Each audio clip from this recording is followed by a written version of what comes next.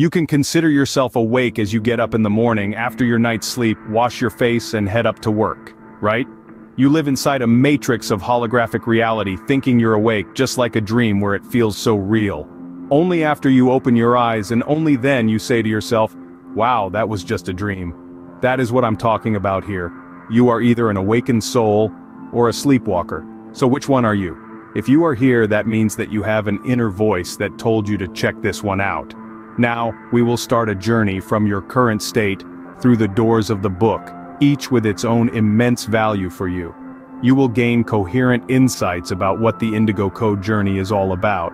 Before you will open the doors, you must know about the rise of the Indigo children, and how the environment affects you. There are a total of 12 paths that together will transform your life. In the time you will flip the last page of this multidimensional journey. Let me make it clear. This journey, and the book, isn't for the faint of hearts. If you don't resonate with any of the topics here, or perhaps this is way too advanced for you, you can let it go and seek some routes that are suitable for rookies. Still here? Great. Let's begin with door number one. The first door you open is the door that consists of four checkpoints that give you the bigger picture of your soul's journey. There are two thumb rules for this phase.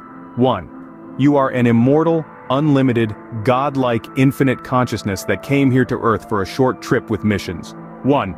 You are willing to explore your true origin and rise above the rat race.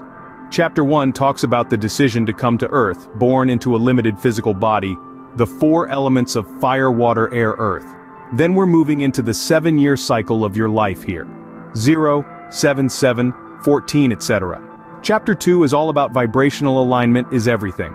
Talks about the five steps of using the law of unified field, what you know as the law of attraction.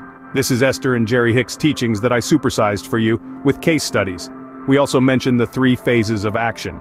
Chapter 3 talks about the role of resistance in your life here. Is it really a negative aspect? This is very controversial chapter where we talk about what is the secret behind the scenario of bullying. Then, prostitution is a karmic cycle. Seeking approval from others and more trigger warning. The last chapter about the science of the metaphysical realms in a nutshell. Here we will continue with the 15 traits that builds the multi-dimensional entrepreneur and the urgent need of humanity for awakened leaders that will replace the corrupted leaders that sided with Enki, the great trickster. This followed by the eight principles of enlightened leadership. One of the main dishes of this door is the 30 characteristics that compose the Indigo Children. Now there are 40 codes that I reveal in my live events, and on the Starseed Lounge trademark show. This chapter is all about the Indigo Entrepreneurship Diagnostic System trademark, that if you wish to find out if you are Starseed, and if you can work with me. Yes. If you fail this filtering system, I won't accept you into the tribe. In Chapter 7 we touch the fear of success that indigo children facing duo to traumas from the Atlantis War. In the workbook I share 50 types of personal fears that I've encountered. Chapter 8 is the bigger one, and touches the lifestyle that are bad for starseeds, and the one that is optimal for you. If it's nutrition, your social circle, training, cold baths, breathing, your social circle, and more. Chapter 9 is all about the pineal gland, the fluoride deception that influenced the pineal gland. You won't believe how important it is. Here you are getting an introduction to cosmic relationship human bonding and karmas. Here there are two definitions that are vital for you awakenings. The first is my definition of relationships. Aligning vibrations for the purpose of co-creating. Sounds about right, right? Now let's move to understanding what is karma.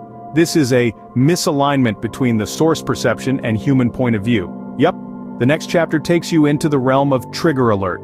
Here we discuss topics such as the Marriage Institute, monogamy, polygamy, polyamory, open relationships, betraying your spouse and the prostitution origin here on earth, how Source sees it. Chapter 13 is all about the black roses and what are they. Besides the influences you get from the media, education system and your core family, there is an element that many aren't aware of. Energy-sucking entities, black roses, that can easily turn you sideways and hinder your efforts without you being aware of it. I call them black roses, the reverse spiral energy suckers. They are entities that have one-way valve, they take energy without giving back. A full blueprint of diagnostic for you and others are within the attached workbook. After this phase you will have a look how relationship will be after full disclosure. That sums up the third door. Take a sip of your coffee and let's continue our journey. Imagine this. What if the very fabric of our human social structure is not merely shifting but collapsing? What if the way we've been living, working, and believing is on the brink of a radical transformation?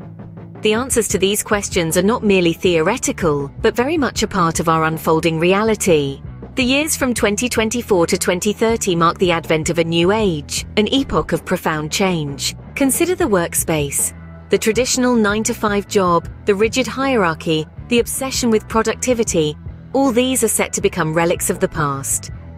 An era of flexible schedules, flat organizations, and a focus on creativity and innovation is dawning. Work no longer means drudgery, but an expression of one's unique talents and passions. Monetary systems as we know them will soon be obsolete, making way for a more equitable and sustainable economy.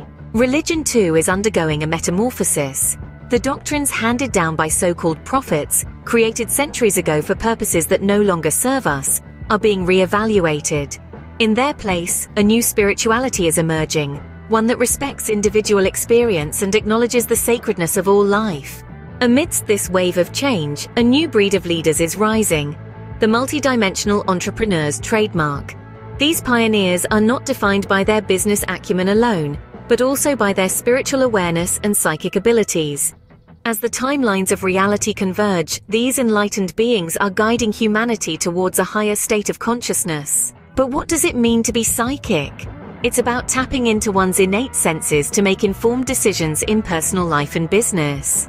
Techniques like deep meditative trance state, mindfulness, and quantum physics can be used to harness these abilities. Even the realm of dreams, once considered the domain of the subconscious, is now recognized as a valuable source of insight and guidance.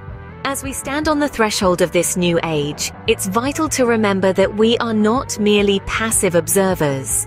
Each of us, in our own way, is an active participant in this grand shift. Whether as workers, believers, or entrepreneurs, we are all architects of the new world that's emerging, so as we navigate this period of intense change, let's remember the key points. The workspace and monetary systems are evolving, religions are being redefined, and multidimensional entrepreneurs' trademark are leading the way. Our psychic abilities are being awakened, and even our dreams and writings can become tools for personal and collective transformation. The future is not something to fear, but to embrace with open hearts and minds. Welcome to the next stage of human evolution. Ever pondered the cosmic dance of numbers and their profound influence on our lives? Welcome to the intriguing world of cosmic numerology. It's a realm where numbers resonate with universal energies, creating a symphony which subtly orchestrates the course of our existence. Cosmic numerology, unlike its more conventional cousin, delves deeper into the esoteric dimensions of numbers. It probes three primary aspects the association of numbers with spheres within the geometric tree of life, the interpretation of these spheres, and the intricate interplay of numbers within these spheres. Consider the numbers 3 and 9, for instance. Each of these numbers holds a unique significance within the cosmic scheme of things. The number 3 represents the ability to actualize potentials perceived in higher realms, bridging the gap between ethereal possibilities and tangible reality. It's akin to a cosmic architect, translating divine blueprints into three-dimensional masterpieces. A life influenced by this number is likely to wield considerable power. On the other hand, the number 9 symbolizes a harmonious connection with the metaphysical world. It balances the spiritual aspects of a person, granting control over life experiences. It harnesses potent forces to catalyze transformative changes in human life. These are merely glimpses into the profound universe of cosmic numerology. The full panorama of its wisdom unfolds in the pages of The Indigo Code. This book is a treasure trove of knowledge, meticulously decoding the cosmic significance of numbers and their influence on our lives. So why remain on the periphery when you can immerse yourself in the cosmic dance of numbers? Unlock the mysteries of your life by delving into the depths of cosmic numerology Secure your copy of The Indigo Code today. It's time to embark on a journey of self-discovery and enlightenment, guided by the cosmic rhythm of numbers. Remember, the universe speaks in the language of numbers, and the Indigo Code is your translator, bridging the gap between you and the cosmos. Your journey to cosmic enlightenment starts now.